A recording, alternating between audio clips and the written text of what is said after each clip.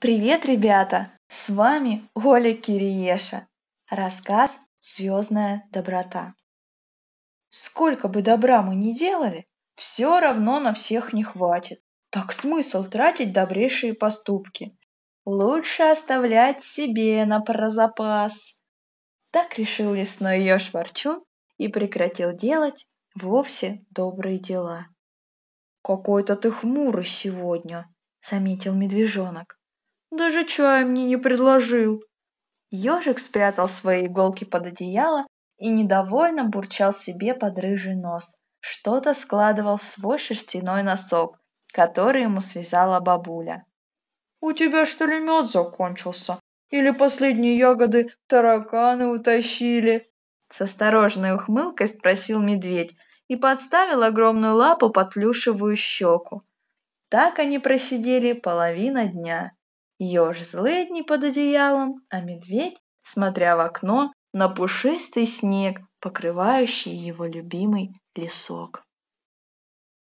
«Пойду-ка я домой, а заодно и прогуляюсь. Завтра к тебе загляну и принесу метку, а то больно скучно с тобой.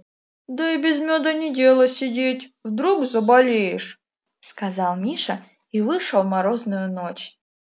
Луна была огромной и освещала всю округу. Никуда от нее не спрячешься. Она заглядывала даже в самые дальние закоулки леса, видела потайные места белок и высокие убежища птиц-зимовниц.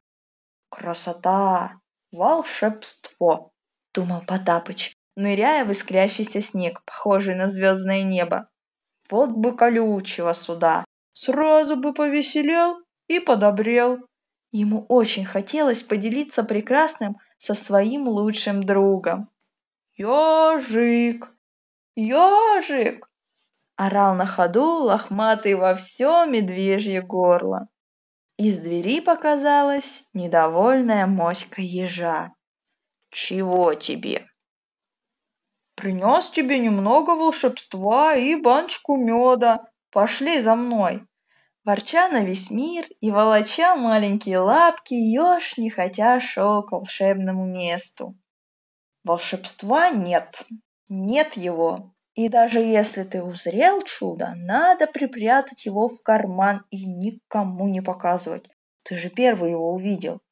Ежик, брось, ты же мой лучший друг. Кому мне еще показывать? А держать в себе я не могу. Зверята пришли на место. «Вот!» – торжественно указал Бурый на кучку снега. «Ложись и смотри на небо!» «Ну, такое себе занятие!» – объявил еж. «Не будь занудой!» – весело прокричал Миша и приземлился спиной на уютный субробик. Завороженно начал смотреть на синее полотно, усыпанное искринками. Ежик с удивлением смотрел на медведя, но не удержался и тоже примостился к другу. «Удивительно, правда?» – заметил медведь.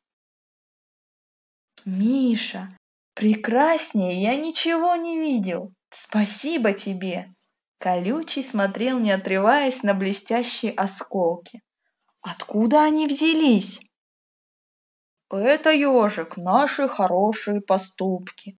Пока в нашем сердце теплится капелька добра и света, эти маячки будут гореть, освещая наш лесок.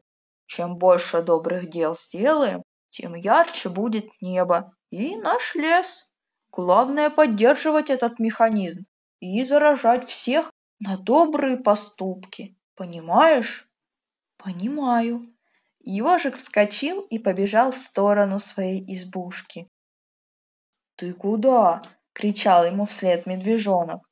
«За носком! У меня же в нем припрятана куча добрых дел!»